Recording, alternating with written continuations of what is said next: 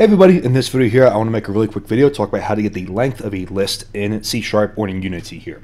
Um, do keep in mind here that if you guys are used to arrays, this is slightly different, so let's check it out. We have two lists here. Uh, in the previous two videos we talked about creating lists and adding items to the list here.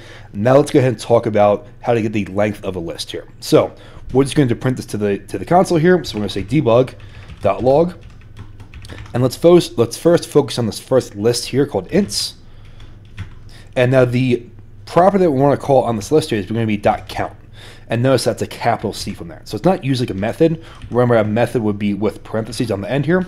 This is a property on the list object here.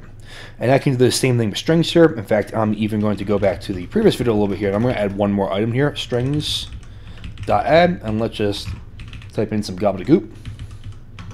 And this way we can see the difference here, debug.log. And this might be useful if you have a bunch of enemies in scene here, or if you want to count how many um, maybe items are left in scene, or how many items the player collected. This, stuff like this is important here. So let's go ahead and save this here. So now we, we should see the count of the first list and the count of the second list here too. So let's go ahead and hit play, and let's see if this works here.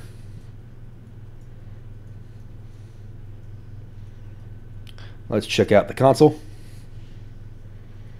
And now we can see that we're getting these uh, these statements back here in the log.